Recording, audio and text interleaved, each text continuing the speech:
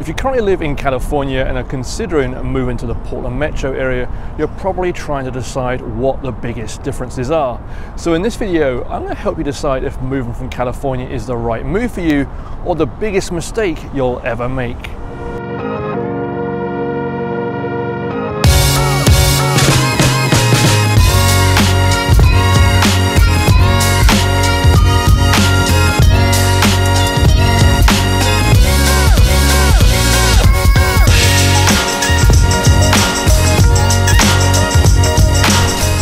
Hi folks, I'm David Backholer. I'm a real estate broker based here in Portland, Oregon. And several years ago, I moved from Oakland, California to Portland, Oregon. So the goal of my channel is to share my experience with you, talk about my relocation, but also help you with your move here. So please do consider subscribing to my channel and also reach out to me if I can assist you with your move to the Portland metro area. You'll find all of my contact details down below. So my story is not unique. It's incredibly common for people to migrate from California into Oregon, and there's several reasons for this. Generally, there's a better cost of living and a better quality of life. Those tend to be the main reasons I hear from my clients. But in today's video, I thought it'd be beneficial to provide you the biggest differences as well as similarities between life in California and Oregon so you can decide for yourself if it's the right move for you to make here. Now, one of the biggest reasons you can probably already see for yourself, and that's the stunning foliage and vegetation that we have here. Oregon is incredibly green and you'll find many tree-lined streets and mature trees and parks throughout the neighborhood. Now, when I lived in California, there was constant droughts, so using water to keep your lawns green was generally discouraged. But here in Oregon, we don't have those issues. Now today I'm down at the Tom McCall Waterfront Park and that's situated here on the Willamette River. This area is famous for these spectacular cherry blossoms.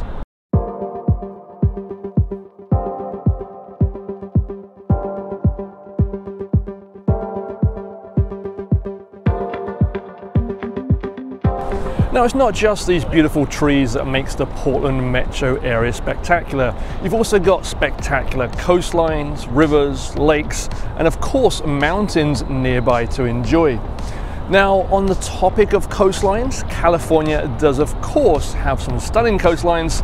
I used to go to Stinson Beach in the San Francisco Bay Area fairly regularly, and somewhere like Manzanita or Cannon Beach here in Oregon is going to be fairly similar in terms of very long, very walkable, flat beaches.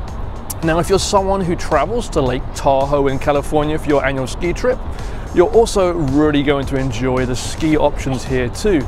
Mount Hood is the nearest location to Portland. It's only about 65 miles east of here, which is over the other side of the river.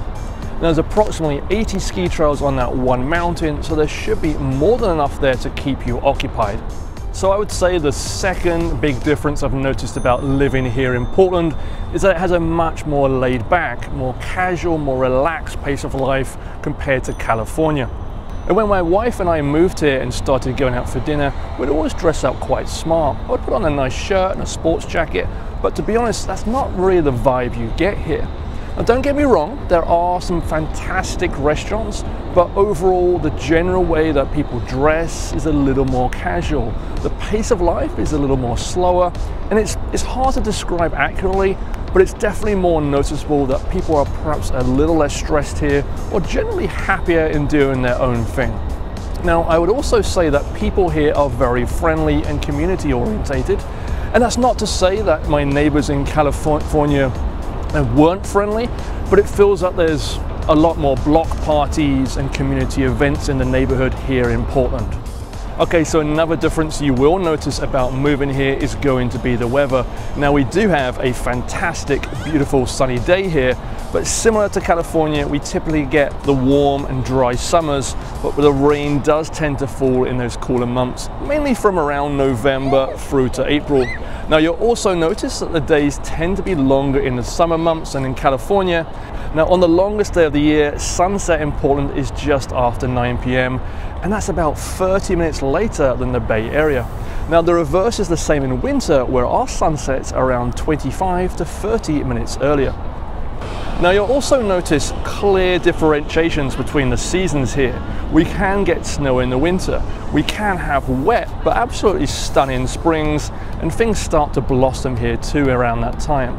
Now summers can be warm and then the colours of the trees in fall look spectacular.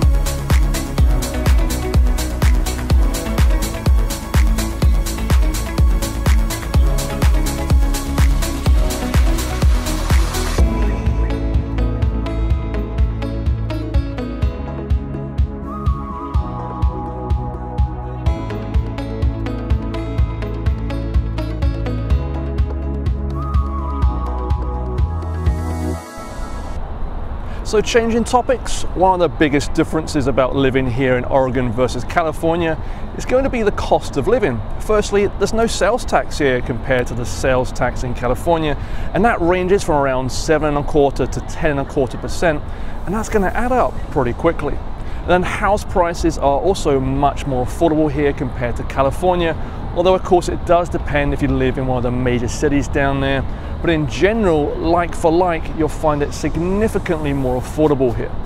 Now, median home prices in Portland are around $550,000 compared to the LA area of $790,000 and the San Francisco Bay Area of over $1.3 million.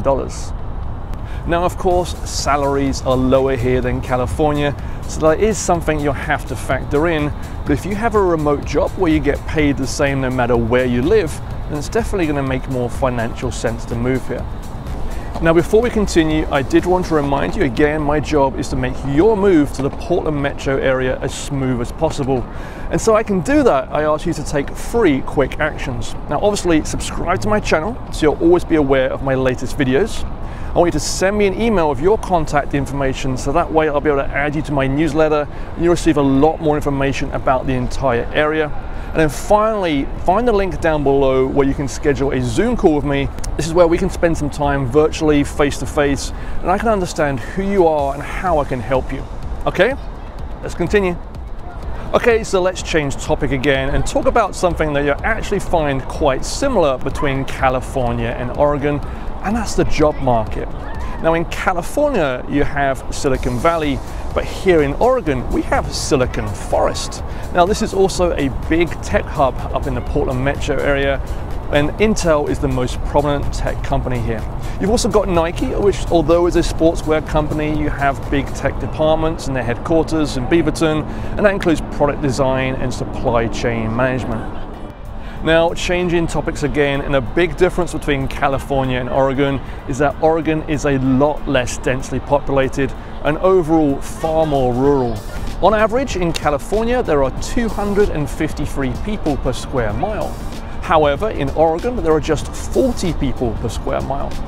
And although these are fairly high level statistics, you will notice that once you start driving in one direction, it really doesn't take you too long to be out, out in the country. Portland is a mid-sized city. It has all the amenities you could need, but the Portland metro area only has around a third of the population compared to somewhere like San Francisco, and is also surrounded by country and fields and farms and trees. Now, because it's a medium-sized city, it also means it's fairly quick to get around. Don't get me wrong, traffic can back up here, especially during rush hour, and going over some of these bridges, which you can see behind me, that's where traffic tends to back up it's a much more pleasurable experience driving around the city in general because it is faster to get around. So overall, there's a lot of similarities between both California and Oregon, but also some things that are quite different. Now, if you want to know more about Portland and which neighborhoods are right for you, I recommend you watch this video next. Also, do remember to reach out to me if I can help you with your move here. Thanks for watching, and I'll see you in the next video.